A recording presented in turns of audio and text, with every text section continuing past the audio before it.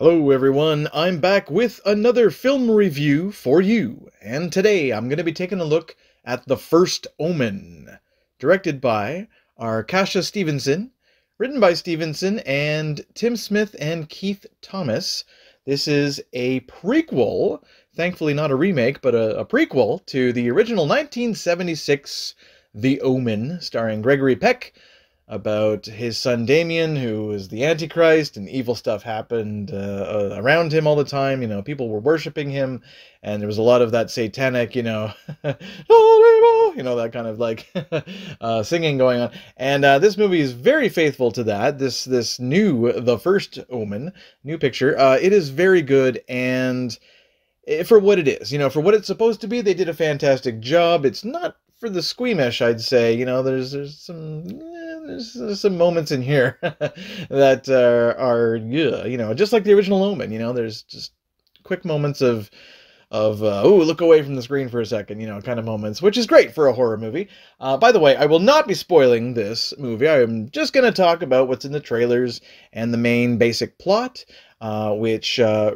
basically uh, revolves around this woman uh, margaret who arrives in uh, Italy at this uh, orphanage, and she's there to take her vows. You know, she wants to be a, a nun and everything.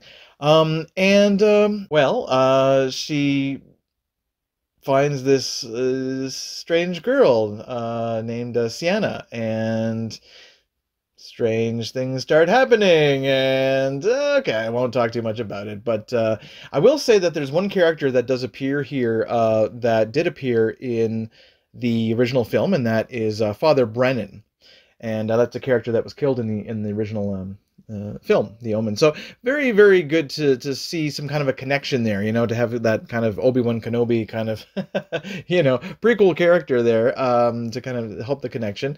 I got to say that uh, uh, Nell Tiger Free is the name of the actress who plays Margaret. She's very very good. She's got a lot to do here emotionally. Certainly, a lot of characters do. Uh, there's a lot of creepy characters, and there's a lot of mm, enigmatic characters. Some that you know are feeling kind of regretful for what they're doing, and some that uh, don't regret what they're doing.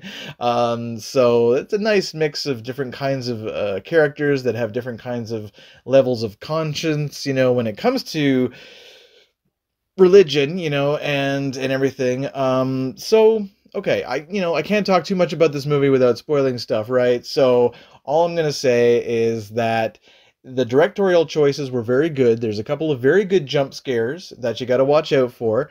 Uh, the characters are memorable. Uh, there are some. Uh, some uh, you know very very interesting characters here. Uh, one of which is a uh, a priest played by Bill Nighy.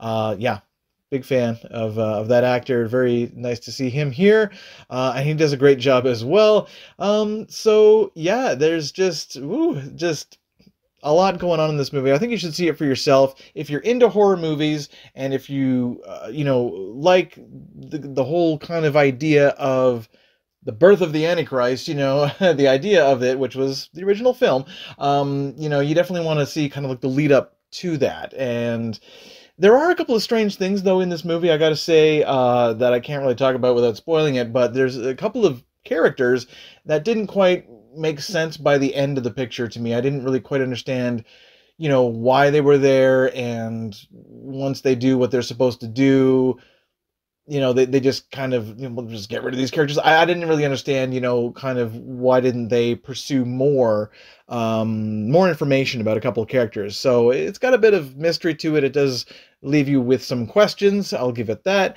It's definitely not going to be for everybody because, you know, there are certain scenes, you know, like I said, that will make you go, I can't watch this for a second.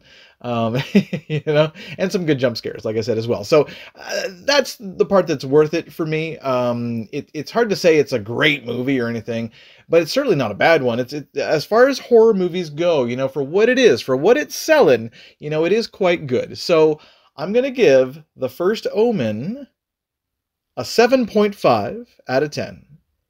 Yes, it is very much like the original Omen, very Rosemary's Baby, and uh, I couldn't help but think of, of those two, uh, you know, classic pictures uh, while watching this. But I thought that it it it did it you know, with respect. It did it justice to those kind of movies. So I thought, yeah, not bad, not too shabby overall.